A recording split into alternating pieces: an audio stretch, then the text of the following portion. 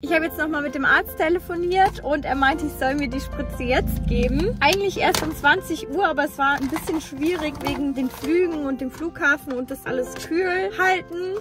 Ich bin so aufgeregt. Auf jeden Fall soll ich mir die Spritze Movitrell jetzt einmal geben. Und nicht die ganze, sondern ein bisschen mehr als die Hälfte. So. Oh, Leute, Mann. Ich kann es kaum abwarten. Ich kann es kaum abwarten. Wir starten einfach den zweiten Transfer. Endlich. Wir haben so lange gewartet. Wir hatten jetzt vier Monate Pause und es geht endlich weiter. Endlich, endlich, endlich. So, wir sind immer noch bestens ausgestattet. So, ein bisschen mehr als die Hälfte. Ich hoffe, ich kriege das hin.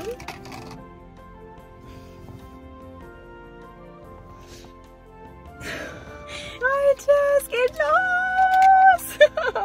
Boah, ihr könnt euch nicht vorstellen, was ich für Gefühle gerade in mir trage. Ich könnte weinen vor Freude, ich könnte weinen vor Trauer, ich könnte schreien vor Freude.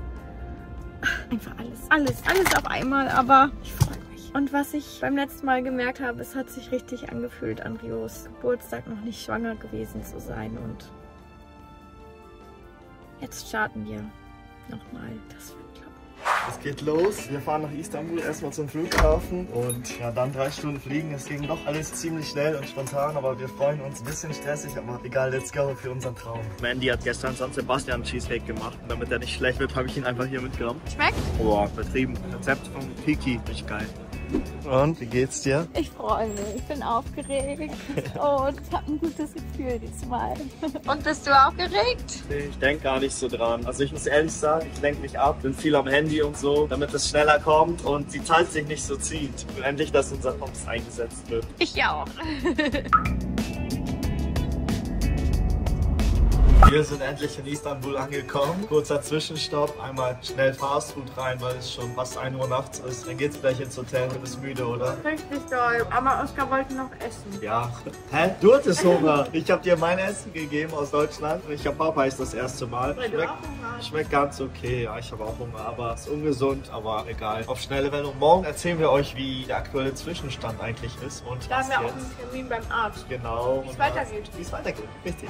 Hallo Freunde. Hallo, guten Morgen. Wir sind jetzt auf dem Weg zum Arzt und dachten uns, machen wir euch so eine kleine Zusammenfassung, was bisher passiert ist. Das letzte Mal, wo wir ein Video gedreht haben hier auf diesem Kanal, war vor einem Monat. Da waren wir auch in Istanbul. Da wurde eben erkannt, dass Mandy eine Einhorngebärmutter hat und nur ein Eileiter. Ja, und dann haben wir den Eisprung ausgelöst gehabt. Das war vor drei oder vier Wochen. Und dann wusste der Arzt, okay, meine Periode kommt dann und dann. Und die ist tatsächlich auch zwei Tage früher gekommen, als in meiner App stand. Also ich hatte jetzt wieder am 28. 24-Tages-Zyklus. Das war auch immer so als, also bevor ich mit Rio schwanger war, hatte ich immer jedes Mal einen 28-Tageszyklus. Deswegen, als ich mit Rio schwanger wurde und einen Tag meine Periode nicht hatte, meinte ich zu Oskar, Schatz, ich habe meine Periode noch nicht. Und da wussten wir dann, dass ich schwanger bin. Auf jeden Fall ist es jetzt so gewesen, dass ich auf meine Periode warten musste und diesmal musste ich nicht am 9. Zyklustag, sondern am 8. Zyklustag zur Frauenärztin, damit der Arzt halt eben Puffer hat, falls wir irgendwie super spontan zu ihm sollen. Und dann waren wir am 8. Zyklustag, am 10. Zyklustag, also zwei Tage später nochmal da. Und am 10. Zyklustag hat sich leider meine Gebärmutterschleimhaut nicht ganz so gut aufgebaut, weswegen ich irgendwie auch ein bisschen skeptisch war, dass wir überhaupt nach Istanbul fliegen können. Also ich hatte tausend Gedanken im Kopf und dachte, okay, ich mache mich jetzt nicht verrückt, weil ich kann sowieso nichts an der ganzen Sache ändern. Der Arzt wird es schon hinbekommen. Und dann war ich gestern beim Frauenarzt und dann ging es wieder Schlag auf Schlag. Ich musste die Eisprungspritze geben und jetzt sind wir hier.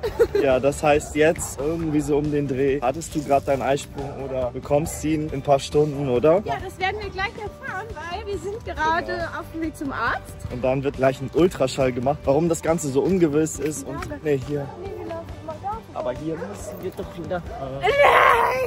Ich kenne Istanbul doch schon wie meine eigene Westentasche, weil wir so oft hier waren. Und genau, also das ist ja immer so, so viele Frauenarztbesuche, weil man ja schauen muss, wie sich die Gebärmutterschleimhaut über die Tage aufbaut und wie groß der größte Follikel ist. Dann entscheidet der Arzt spontan, können wir anfangen oder nicht, weil wir ja optimale Bedingungen diesmal schaffen Die wollen. besten Voraussetzungen will der Arzt nur starten und das finde ich auch wirklich gut. Also es ist kräftezehrend, aber es ist natürlich das Beste, weil wir haben nur diese zwei Embryonen und die, wie der Arzt das immer so schön sagt, die sind Gold wert. Die sind Genau. Gold wert.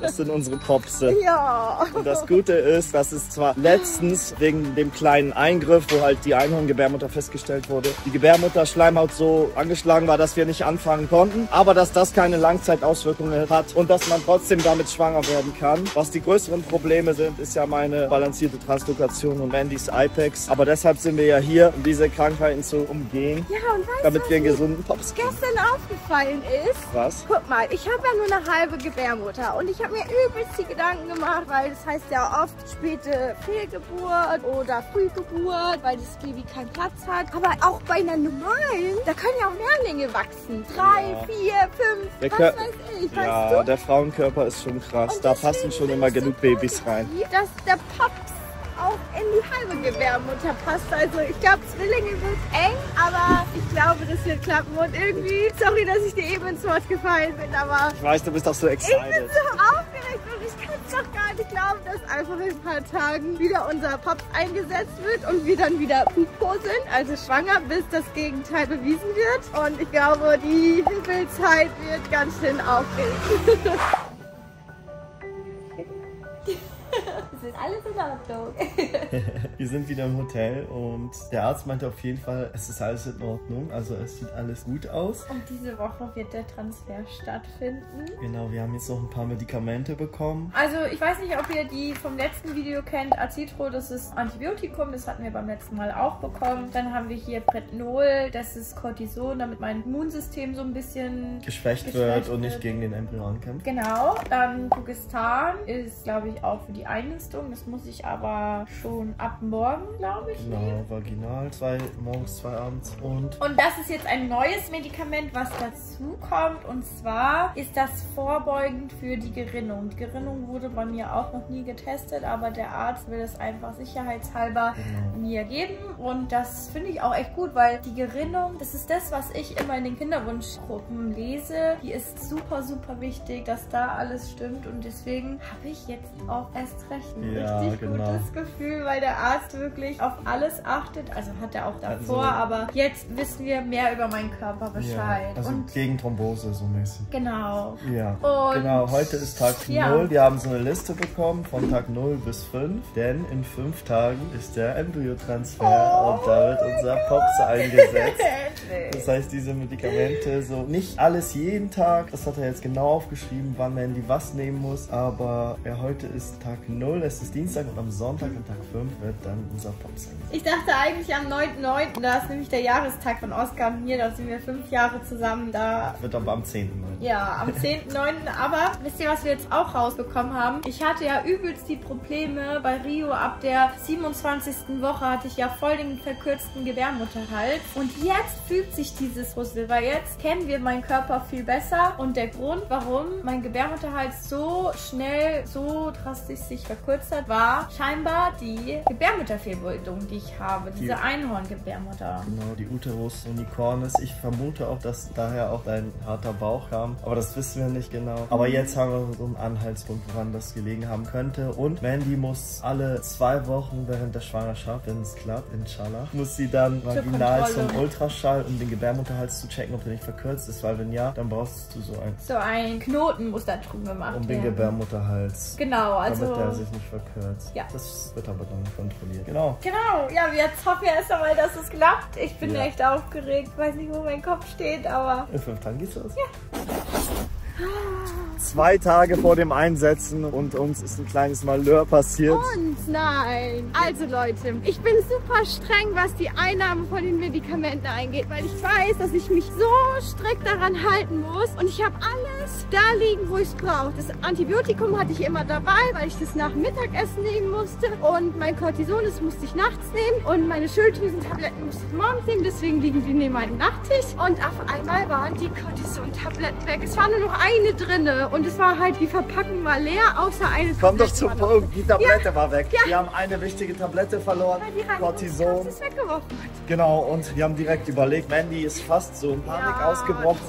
und hat fast angefangen zu weinen und dann habe ich gemerkt, okay, es ist wichtig, unabhängig davon jetzt. Ich denke, ohne die Tablette hätte es trotzdem geklappt, aber trotzdem willst du alles nach Flammen machen Ja, und ich habe gemerkt, sonst breche ich ab. sie meinte schon, ich breche Ja. ab so, das, das wird nichts und ich so, okay, es ist ernst, Ja. ich muss es ernst nehmen, ich bin in mich gegangen, habe überlegt, was sind die Lösungen, wo ist der Müll, wo könnte die Tablette sein, wo könnte eine Apotheke sein, Arzt anrufen, Rezeption und Das ist die Lösung. Ruhe bewahren ist immer Schritt eins. Nein. Fällt natürlich schwer mit einer aufgebrachten Frau, aber Hauptsache wir haben jetzt eine Lösung gehabt, zu Türkei hat alles auf. Oskar meinte, ja, der können wir morgen uns drum kümmern. Das war ein, einer meiner Lösungsvorschläge. Damit warst du nicht einverstanden. Danach haben wir nach anderen Lösungen gesucht und eine gefunden, das ist das Wichtigste. Wir haben zusammengehalten und Gott sei Dank haben die Apotheken hier bis 0 Uhr auf, war auch Ja. noch nicht mal so weit und Gott sei Dank kriegt man alles ohne Rezept. Und der Arzt war auch noch wach und meinte, ja, eine Apotheke kriegt hier sowas. Das Ja. haben wir dann auch geschafft. Yes. Also kann der Kinderwunsch weitergehen. Ah, genau. Wie, wie fühlst du dich? Gut, richtig gut. Oh Mann, ich bin so aufgeregt. Wir müssen aber jetzt los. Heute ist der Damit wir auch Tag. pünktlich kommen.